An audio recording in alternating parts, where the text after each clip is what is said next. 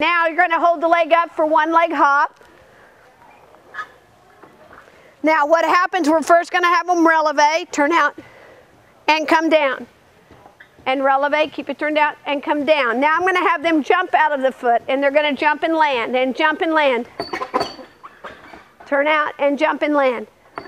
And other side.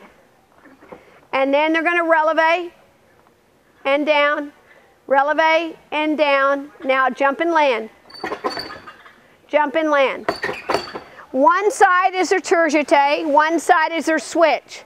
If when they do the releve or jump, they lower the leg, they've destroyed that jump. It should stay 90 degrees or go higher, or they've destroyed it. Then this turns into one leg skips, where they would go plie and skip with a straight leg, plie and skip.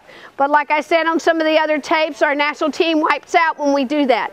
That needs to be done on low beam after they get this in a complex very nice because it needs to be to where they can have good body alignment and really get airborne in the jump.